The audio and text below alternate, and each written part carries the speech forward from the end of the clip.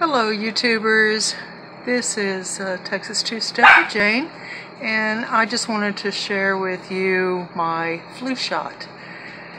Yes, this is uh, something that I make up uh, in the fall and take uh, one about every other day at least unless I start feeling like I am coming down with something and then I uh, up it up to every day.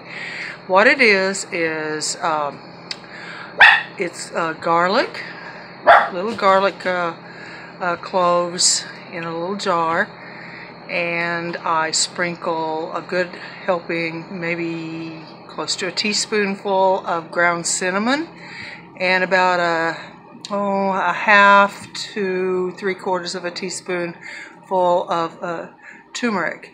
And then fill it all the way up to the very top where it covers all of the garlic in honey.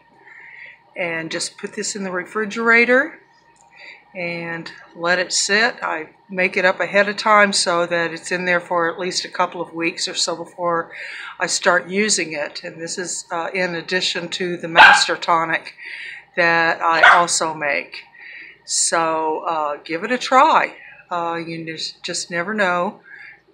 And it sure isn't going to hurt anything. It's all good, healthy stuff. It helps to boost your immune system and our bodies can take care of themselves as long as we take care of our bodies. So y'all have a good day, and I will see you next time. Bye.